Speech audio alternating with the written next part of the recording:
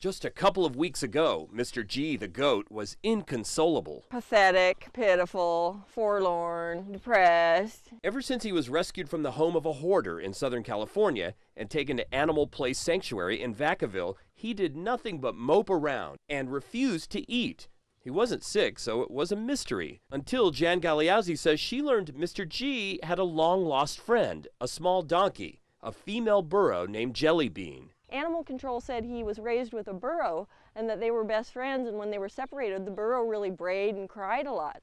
And we said, oh my God, maybe he's grieving for the loss of his friendship. Animal Place acted quickly. A volunteer drove 14 hours round trip to bring Jellybean up from SoCal.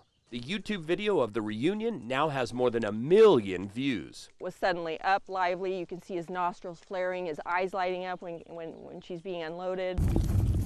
And once they finally reunited, an amazing transformation. Not only did Mr. G perk up, but he decided it was time to eat again. Who wants their treat? Animals have all the emotions that humans do. They form the same sort of bonds and relationships that we do. They feel love, they feel friendship, they feel companionship, they feel sadness, they feel grieving, they feel loss, and sometimes in a more powerful way than, than I've seen humans express. In Vacaville, Joe Vasquez, KPIX 5.